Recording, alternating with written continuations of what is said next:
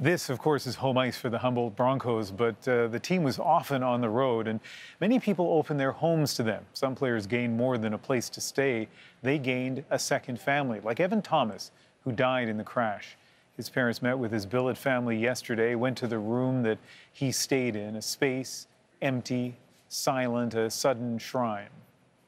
We wanted the, them to get his last moments so we left everything as it was. All of his laundry was over the floor, typical teenager. I mean, uh, his his part bottles of water, his his, his milk jugs, his, his you know the things that he and she he just wanted a- to come here and get a feel for his Yeah. last moments yeah before he left and get a feel of his daily ri- rituals Yeah. because I mean like she said you guys took care of my son he lived in your house not mine and Mhm. and it was important for her to know where he sat at the table and yeah. you know lay in his bed even go downstairs where he gamed with the boys. These flowers were given to us from Connor DeShane who was uh, one of our previous billets about three years ago. And he wrote um, you're in our prayers always.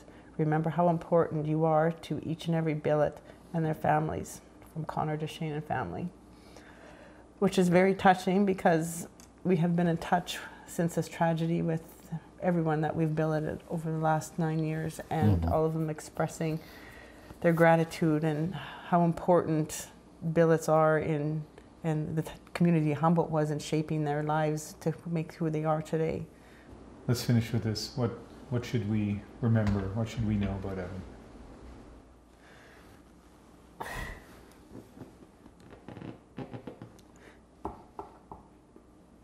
you go ahead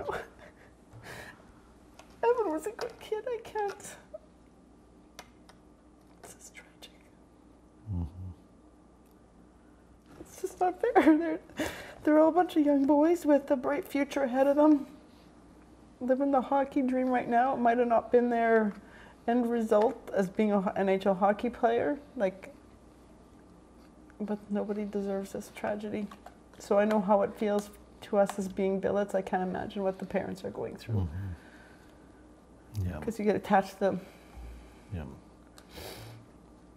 I think for me it's in their honor that Humboldt goes on with hockey no matter what you know I mean it's always going to be known as a place of tragedy you know but it's always been known as a place for small town great hockey in the past, and that's what we want to remember for.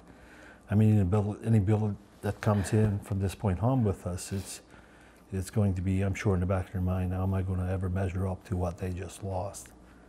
It's we will always love them, we'll miss them, but but hey, you know, we wish we could undo what's done, but we can't. So.